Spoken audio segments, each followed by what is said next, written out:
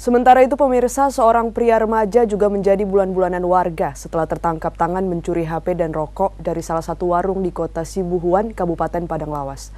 Nyawa pelaku berhasil diselamatkan dari amukan massa setelah polisi turun ke lokasi kejadian.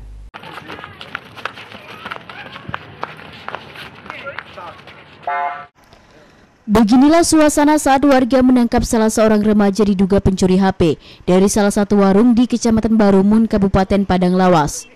Spontan warga mengejar tersangka setelah mendengar jeritan salah seorang pemilik warung yang kehilangan HP.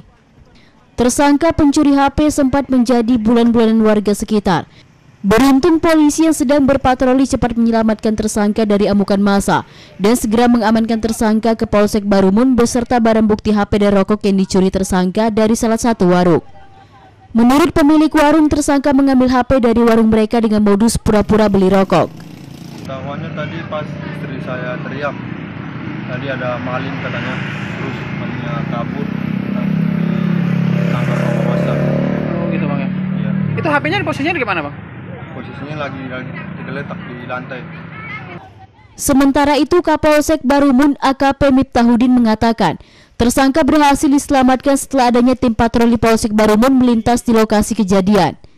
Tersangka pura-pura membeli rokok, kemudian melihat pemilik warung sedang tidur dan HP di samping eh, ibu yang menjaga warung, kemudian tersangka mengambil warung, eh, meng- tersangka mengambil HP, kemudian lari dan diteriaki maling sama ibu tersebut yang kebetulan terbangun dan kemudian ditangkap oleh masyarakat.